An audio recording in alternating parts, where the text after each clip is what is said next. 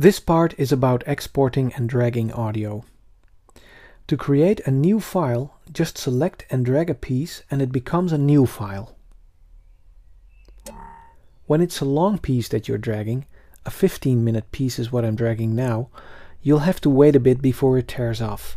But when it does, you can drop it anywhere.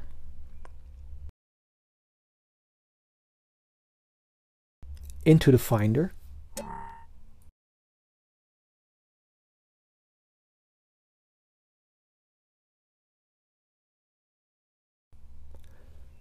Into Pro Tools. Into Logic, Cubase, Nuendo,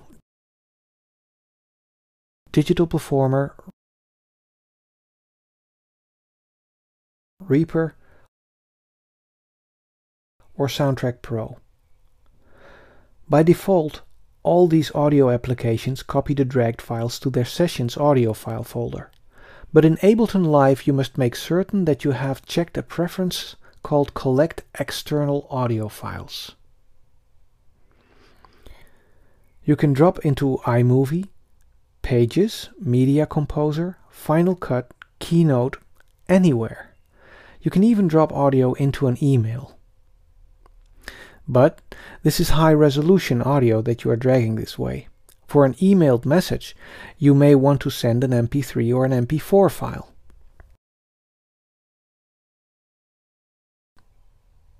So just hit the Email as MP3 button. The selection will be converted to an MP3 and attached to a fresh email right away.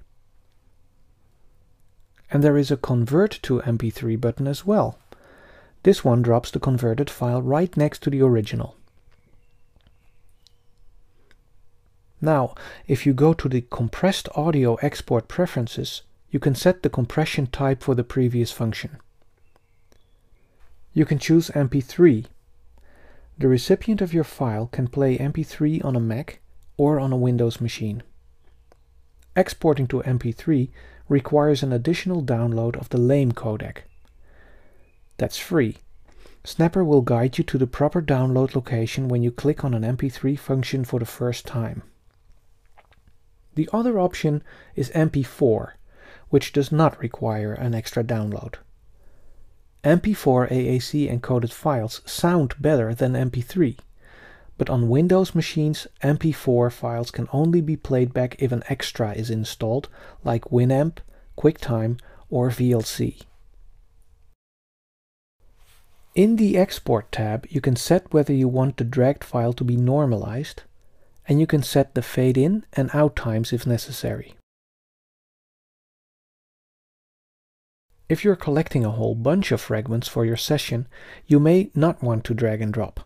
Instead, you can upload to your current session's cursor. That way, you can put your cursor at the proper spot first and then spot to it like this.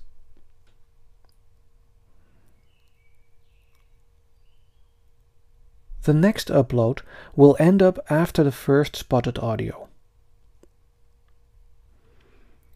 This feature works in Pro Tools, Digital Performer, Logic, Cubase and Nuendo.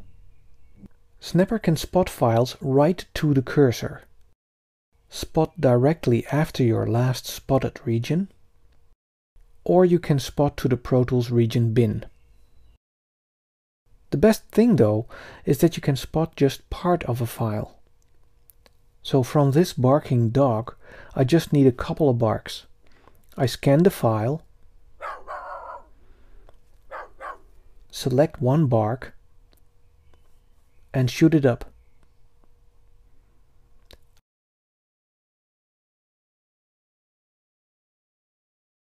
I select another and put it right after the previous one. One advantage of sending audio to Pro Tools this way is that your projects will end up being smaller, because only the sections that you selected in Snapper will be converted to the project's audio file folder, rather than the whole files. Finally, you can send your selections to a predefined folder. You can set the destination folder in the Export Preferences panel. I'll select this folder on the desktop. Now I can send any selection to it by pressing the Export to Folder button.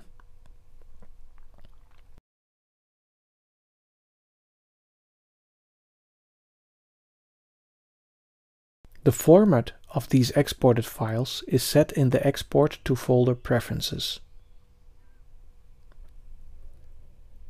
Now let's check the Export Preferences pane once more. These settings only apply to the Export to Folder knob. The export settings here are doubled in the Export tab in Snapper's window. They apply to all files created by Snapper whether via export to folder, create mp3 or dragged snippets. There is one setting here that only applies to dragged files. Here you select whether dragged selections will end up being interleaved or split stereo. And here's the default folder that selections land in before they are sent to your audio editor's cursor via the spot to cursor knobs. If you want to do some work in a source file, like cut multiple segments from it, it may be good to use freeze mode.